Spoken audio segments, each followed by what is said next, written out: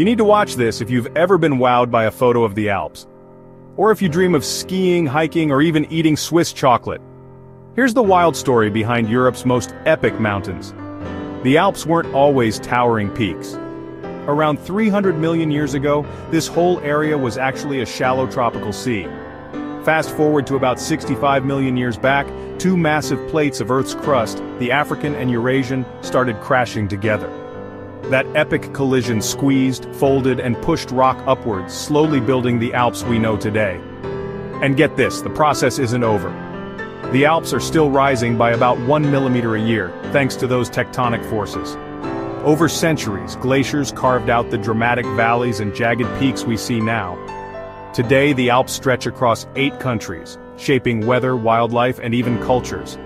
So next time you see those snow-capped giants, remember, they're living evidence of our planet's wild, ever-changing history.